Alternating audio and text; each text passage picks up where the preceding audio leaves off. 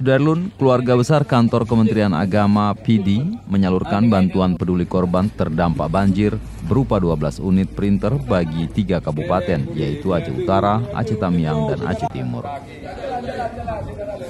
Bantuan peduli korban berdampak banjir itu sejak tiga pekan sebelumnya telah dilakukan penggalangan oleh segenap aparatur sipil negara serta para siswa dalam lingkup jajaran Kemenag.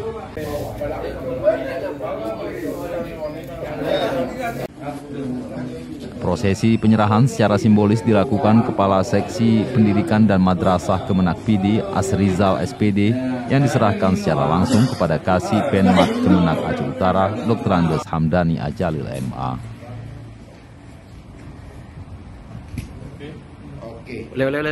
Demikian halnya dengan penyerahan 8 unit printer bagi Kemenak Aceh Timur dan Aceh Tamiang yang turut diserahkan oleh Kasih Penmat.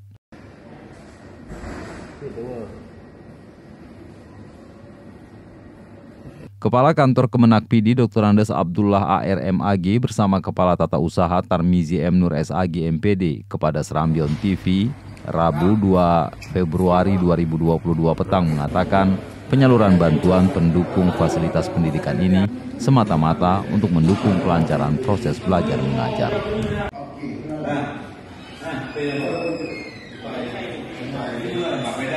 Masing-masing kabupaten diberikan 4 unit printer.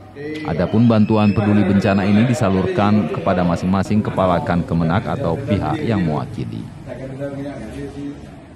Untuk selanjutnya, pihak kan kemenak masing-masing kabupaten yang menyalurkan kepada pihak madrasah yang terekses banjir.